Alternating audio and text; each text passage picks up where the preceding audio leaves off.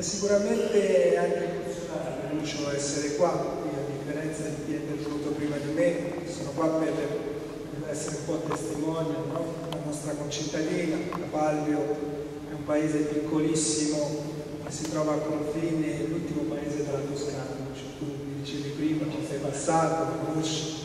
Abbiamo anche il piacere di avere tantissime bellezze. E naturalmente quando Giuseppina e Umberto, Giuseppina che poi è l'autrice anche colei del libro, ha, ha, scritto queste belle parole e spero di esserne, eh, dire, autorevole, portatore oggi e poi mi auguro che molti di voi avranno modo di leggerle.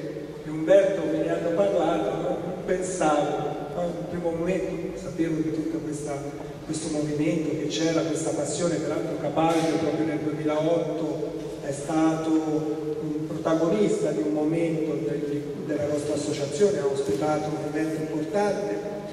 Non pensavo veramente così di, di poter trovare delle parole, ma soprattutto delle descrizioni che raccontano Giuseppina, raccontano di lei sicuramente, vi dico, spero di potervi in qualche maniera far partecipi di questo, ma raccontano anche di qualcosa di, di più grande. Quindi a me questo onere, però che io rappresento anche con onore, perché insomma quando della propria terra se ne parla, no? anche oggi è una giornata un po' particolare per noi italiani perché vengono commemorate le due vittime che sono appunto tornate le vittime della guerra, io credo che poi messaggi importanti di cultura, di amicizia, di pace che partono appunto da iniziative come queste, credo che debbano essere colti veramente da tutti con grande attenzione, rispetto soprattutto devono essere anche portatori e momenti e strumenti no? di grande partecipazione. Sono nata in Etiopia e vivo a Capallo Nutro l'orgoglio di avere sangue misto italo-etiope, che oggi sento anche capalbesi. Ho viaggiato in tutto il mondo, ma caparbiamente ho cercato un buon ritiro qua. Un posto che può essere arido e lussureggiante, ancora selvaggiamente naturale, dove i profumi della natura si fondono armoniosamente nei quattro elementi, acqua, terra, fuoco, aria. Ho la gioia di condividere la realtà quotidiana con i miei amici maremmani, sorprendentemente è la stessa che ho condiviso nel passato con gli affari. Superbi cacciatori e guerrieri d'Ancali, tribù alla quale mia nonna Amleset, mi auguro di aver ben pronunciato, era orgogliosa di e di appartenere.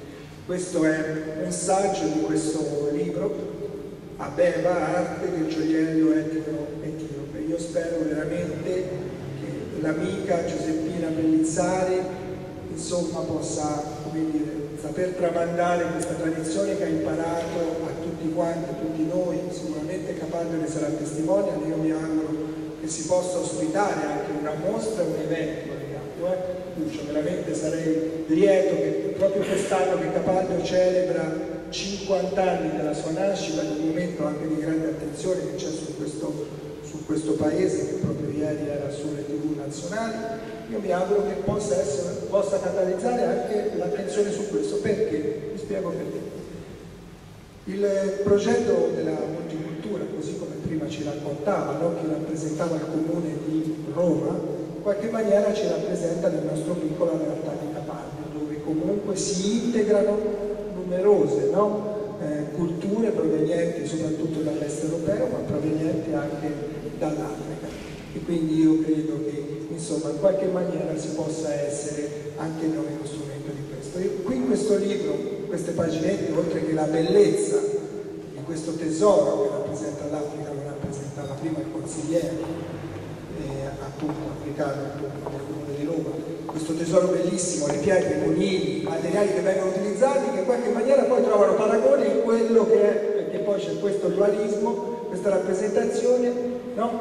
di questa terra bellissima, in questo lago di Raglano dove pare sia partito tutto, lago dalle acque scure, in qualche maniera argilloso, no? peraltro meta oggi di turisti e chi volte con queste strade tortuose ma ci si arriva, è bellissimo e poi in qualche maniera la rappresentazione della Capalbio che io conosco e che in qualche maniera anche Giuseppina Pellizzari ha apprezzato e credo abbia colto in tutto il suo splendore. Quindi veramente con orgoglio che oggi sono qui a testimoniare, un piccolo, una piccola cosa, è molto rispetto al più grande progetto che c'è dietro a questo. Veramente con questo pensiero io auguro a Giuseppina e soprattutto a tutta l'associazione che sta facendo un ottimo lavoro perché ho visto insomma tutti gli appuntamenti di questi ultimi tre anni, appuntamenti importanti, appuntamenti soprattutto di spessore, caratterizzati da grandi messaggi che partono, ma soprattutto poi, e questa è la cosa più importante che a volte a noi politici manca a tutti,